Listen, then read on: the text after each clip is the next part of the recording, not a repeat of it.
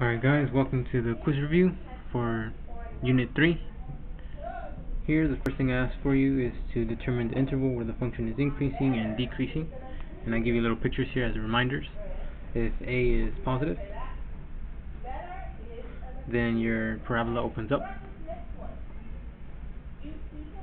If your a is negative, then your parabola opens down.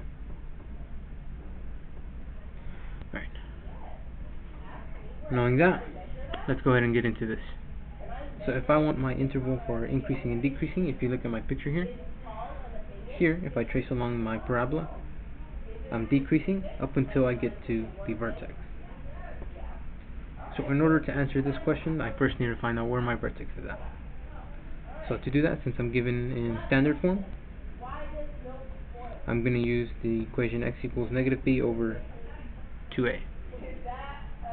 Alright, my b here is 6, so my negative b would, uh, my negative b is negative 6 over 2 times a, this is my a here, so that would be 2. Alright. Once I have that, I have uh, negative 6 over 2 times 2 is 4, which reduces to negative 3 halves. So that's the x value where my vertex is at. So, so far I have some picture, and my a is positive, so that means I'm looking at this situation here. It's opening up. So my parabola looks something like that. And my axis of symmetry is at x equals negative 3 over 2. From our vertex formula here. So again, I'm tracing along my parabola and I'm decreasing up until I get to my vertex, which is 2. So to answer this question, it's decreasing in the interval. Now if this is my x-axis, again this goes off and veers off all the way out to the left. So from negative infinity up to the x value of negative 3 over 2. Parentheses around infinity and bracket around the negative 3 over 2. We're increasing. Well, that's just the other way around. If I start here and I trace along my parabola, I'm starting at negative 3 over 2 and I veer off all the way out to the right. So that's positive infinity. Bracket parentheses. For the second one I'm given my parabola in intercept form. So what this tells me is where my parabola crosses the x-axis. So I'm going to draw myself a little picture here, again, if it's inside the parentheses, it's the opposite, so it crosses at 2 and at negative 4. So at negative 4 and positive 2.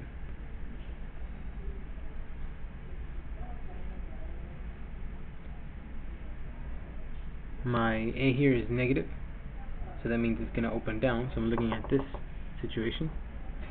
So all I know so far is that it goes through here, comes back down, just like that. Now for this, I'm going to be using my properties of the axis of symmetry. Since these two are the same y value, that means right in the middle would be my axis of symmetry. So to do that, I'm going to add both of these. So I'm going to take the average, negative 4 plus 2, divided by 2, which gives me negative 2 over 2, which is negative 1. So my axis of symmetry is that x equals negative 1.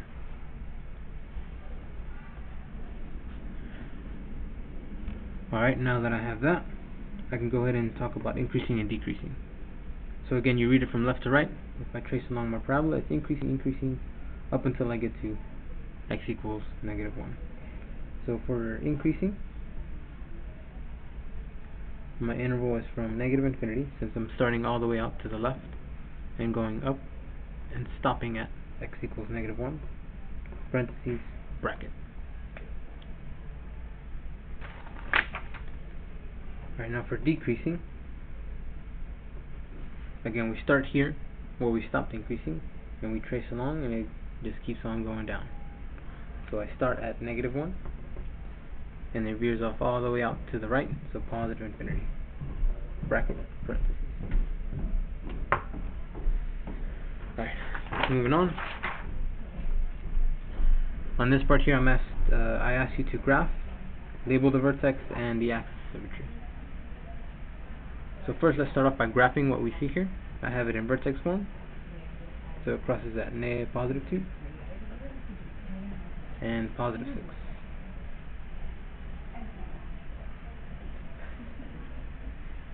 Similar to the last problem that we did, we're going to use the uh, properties of our axis symmetry, and I see here that it cuts it right in the middle at x equals 4. Or you can just take the average of both of them. So that's 6 plus 2 divided by 2, which is 8 divided by 2, which is 4. Either way works. I see that it's uh, negative here. And now for my y value, so that I know how far up it goes, I'm going to substitute my x value into my formula. So that looks like f of 4 equals negative 4 minus 2 times 4 minus 6, which is negative 2 times negative 2. Is 2 times negative 2 is negative 4, and then negative outside, which is positive 4. So my vertex is at 4, comma 4. And there's my problem.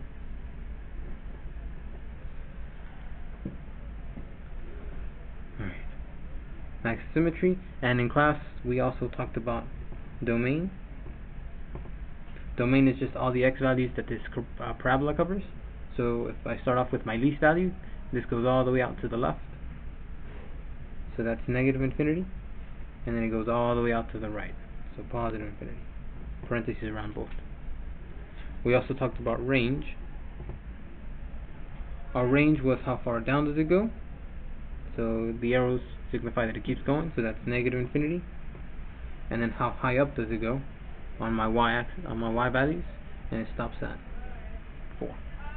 So 4, parentheses, and then bracket. Because you have to include the 4. And then uh, infinity you can't capture, so you have to put parentheses around that. For increasing and decreasing, we did the same thing. Increasing, I start off here, all the way out to the left, so that's negative infinity. And then I stop increasing at the x value of 4. Parentheses, bracket. Decreasing, same thing, we start here at our 4, our x value of 4, and we decrease in this direction, so it veers, veers off all the way out to the right, so that's positive infinity bracket parentheses. Now here I give you the uh, the function in intercept form.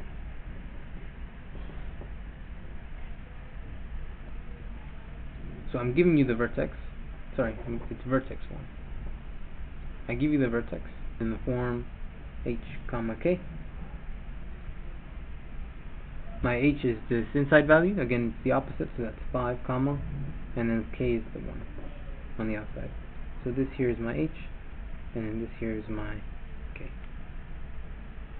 So my vertex is at 5 comma 1. Now if I want two other points, all I have to do is just go ahead and substitute two of them. I'm going to go ahead and substitute 4 in there, so that's f of 4 equals 2 times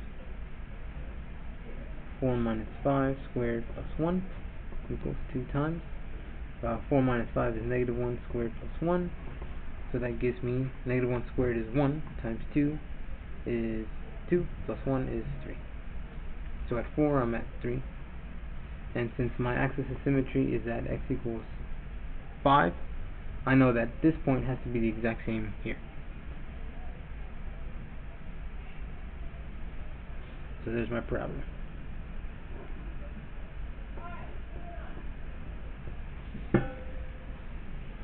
Alright, let's do the same thing, domain.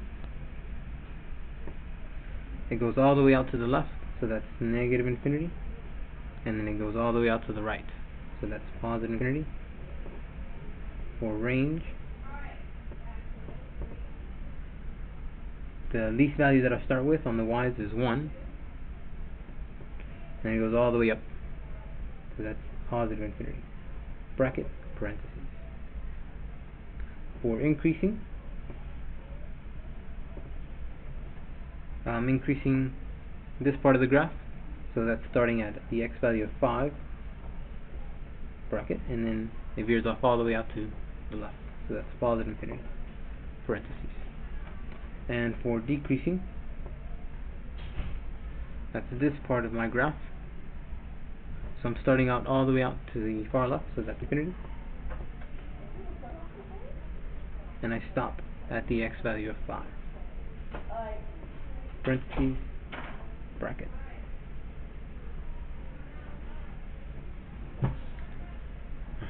That does it for those two questions. Let's move on to number one here this is the table shows the values of quadratic functions determine if the graph is opens up the axis symmetry and the y-intercept so first let's take care of this opens up or down business. So I'm going to draw my little x-axis here. The least value that I have is negative 5 the largest is positive 9 so if I see here um, from negative 5 to negative 3 I'm going down. Since 32 went down to 12 12 is going down again here to here it's going down. Here to here it went up. And here to here it went up. And then here to here it also went up. So from this I can see a little picture. It's going just something like that. So it's going down as I move to the right. And then eventually I get at some point I start increasing back up again. So this means that it opens up.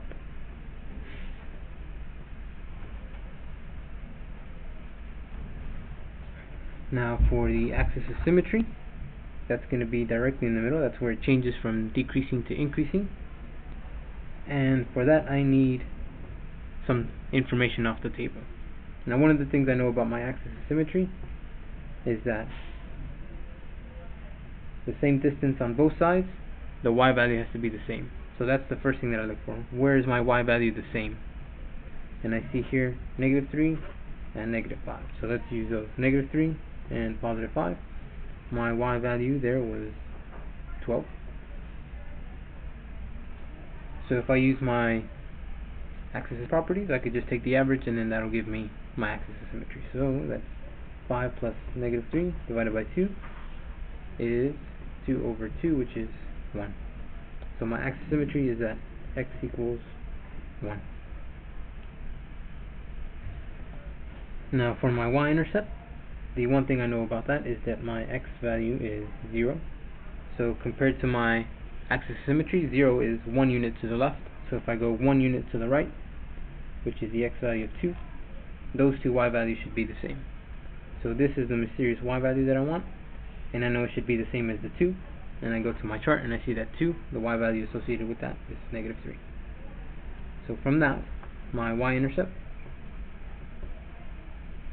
is equal to negative 3.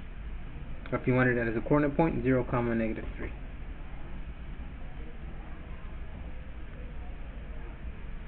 Alright, let's move on. Number 2 says the toy cannon is launched from a stage. The height in meters of the cannonball given above the ground is given by the function where t is in time since the cannonball was launched. What is the maximum height of the cannonball? Mm-hmm. So for maximum height, first let's start off by drawing some sort of picture of this. I see here that it's negative, so I know that it's going to open down. So something like that. I want the maximum height, so that's going to be my vertex. Now, my t value here is in time, so that's going to be time, comma, and then the height. I am looking for the maximum height, so that's the y value. If I use my formula x equals negative b over 2a, or in this case t, that's going to give me my time. I'm looking for height. So once I find that, I just substitute my time into my formula, and that'll give you my height. So that's the strategy here. So first let's find this part.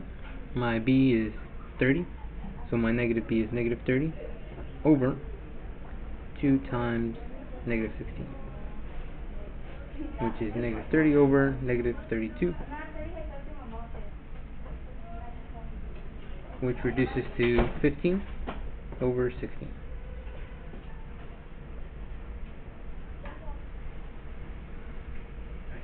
Now I'm going to go ahead and substitute that into my formula.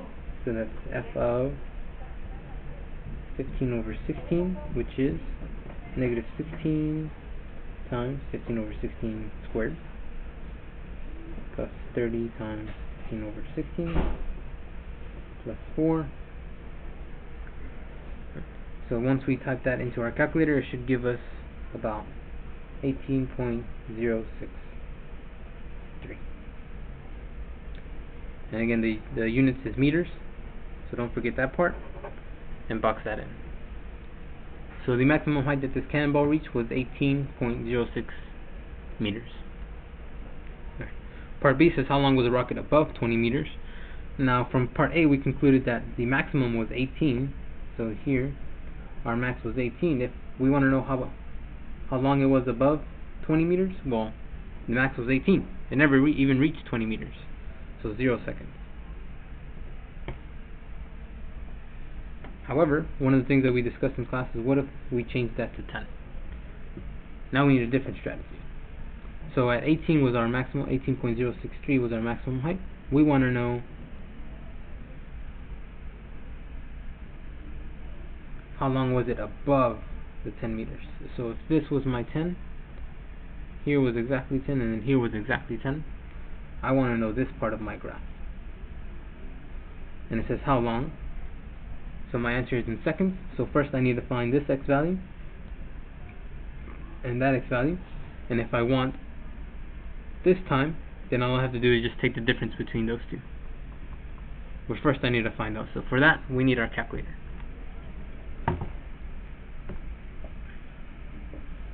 So first I'm going to graph it. Then we're going to go new document, new graph. My function is negative 16 x squared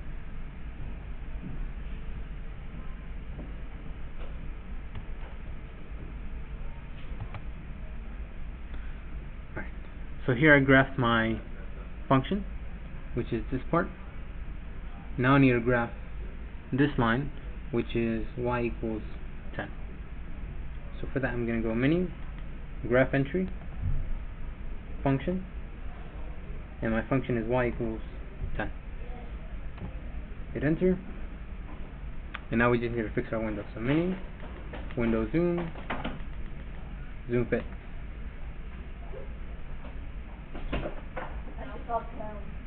Let's make this a little more easier on the eyes. Let's zoom in, there,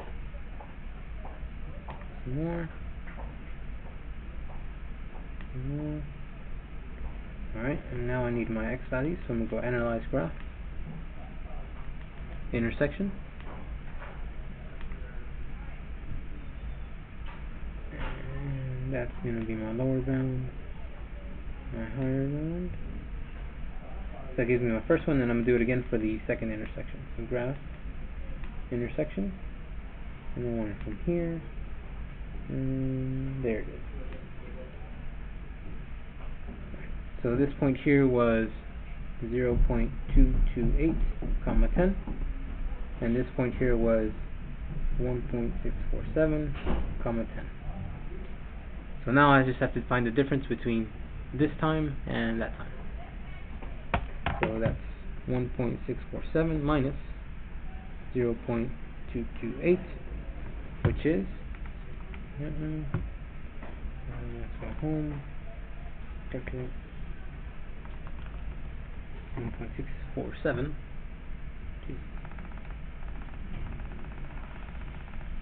1.647 minus 0.228 is 1.419 seconds. Alright, number three, use the graph below to answer the following questions. Part A says describe the transformation from x f of x so this is my f of x to g, and then this is my g, as shown there. So I see here that it's reflected over the x-axis, so that's one of the transformations, reflection over x-axis. And then the other one that I noticed is that this one, compared to this one, this one's a little more skinnier. So it since this line is shorter than that line, that means that it was a vertical shrink.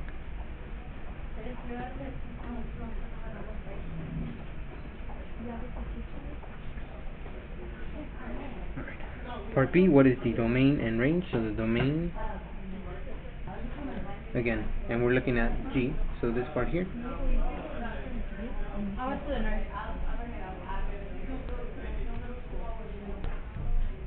G goes all the way out to the far left, so that's negative infinity. And then it goes all the way out to the far right, so positive infinity. And parentheses around both of those. Range. My range I'm going to start all the way down here, which you see goes all the way down, so that's negative infinity. And then the farthest that it goes up is at this y value of 0. Parentheses, and then bracket around 0 increasing and decreasing again. So increasing, I'm looking at this part of my graph. So that's from all the way out from negative infinity up to the x value of 0. So that's parentheses and then bracket.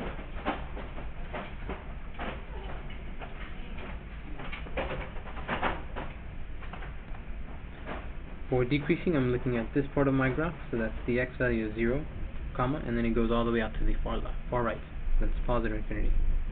Bracket, and then parentheses.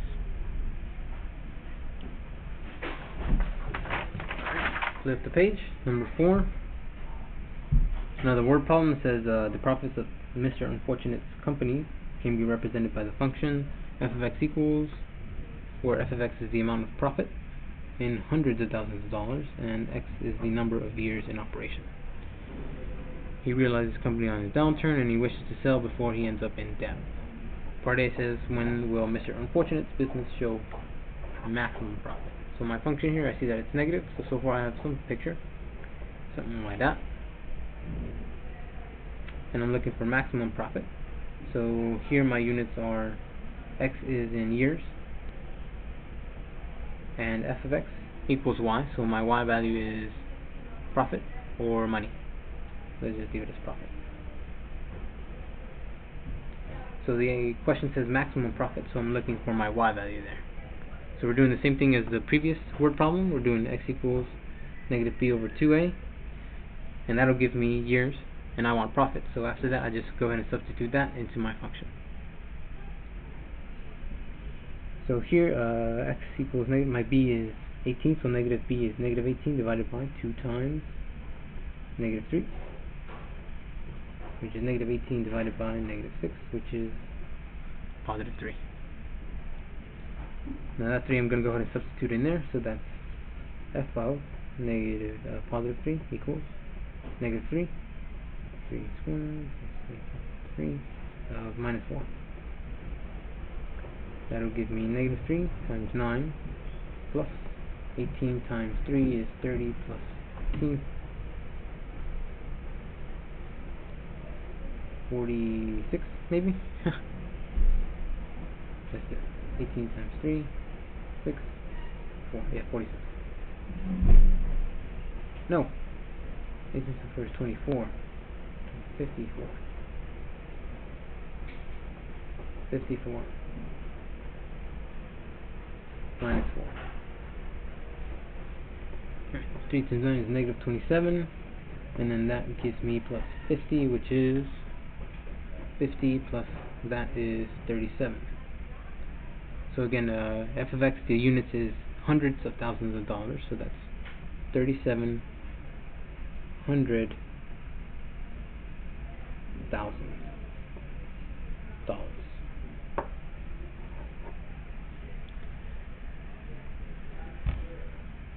That's the maximum profit, so that actually answered part B. Part A says when. So that's our x value in three years.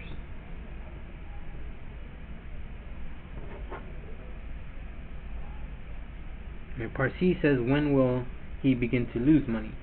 So he, he, if he's losing money, that means that his profit is below zero. So we want to know when does it equal zero. So that's another graphing. Right.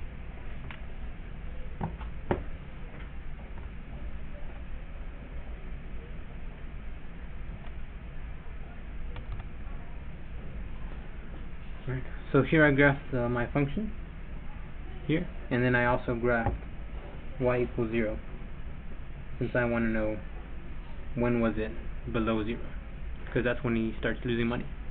So that x value happens to be 5.769. So after that year, that's when he starts decreasing. That's when it starts, the graph starts uh, going below 0. So the answer to this question is after the year of 5.767.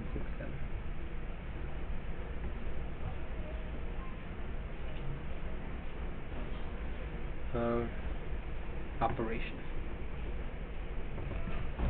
So what that means is that after that many years have passed, he's going to be in business for that long, and then after that, the model, his quadratic model shows that he's going to start losing money. Number five, another word problem says Robert tosses a coin off the bridge into the river below. The distance of the coin above the water is modeled by the equation, so that's height, where x represents the time in seconds. So x again is time. I see here it's negative, so again I have some sort of picture going on. Part A says the greatest height, so again that's the vertex, and the units is time, comma, height. So I'm looking for the y value again. So let's use our formula, x equals negative b over 2a. My b is 96, so negative 96 would be negative b. 2 times negative 16 equals negative 96 over negative 32, which is positive 3.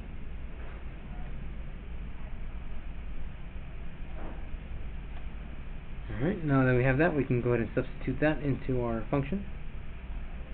So that is f of negative 16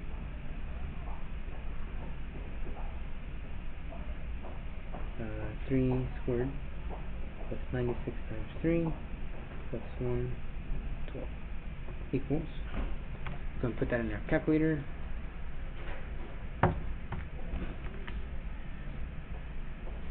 That's negative 16 times 1 6 times 3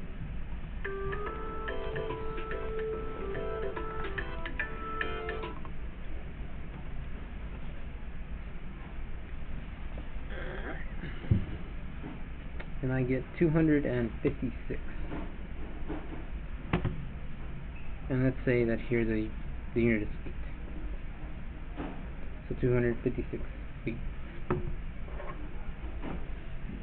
That's the greatest height of the coin. And then part B says how much time will it take for the coin to hit the water.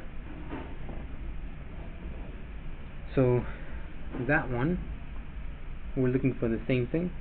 The distance above the water would be 0 so we're going to graph our function, graph y equals 0, and then find out where the intersection is. And again, this is asking how much time, so I'm looking for the x value of that intersection there.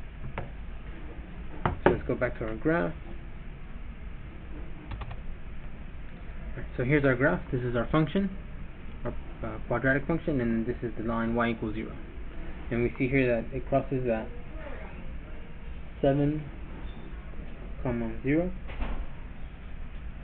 So the time that it takes to hit, hit the water would be 7 seconds. Alright guys, that's about it. If you have any questions, go ahead and leave them in the comments and I'll get to them as quickly as I can.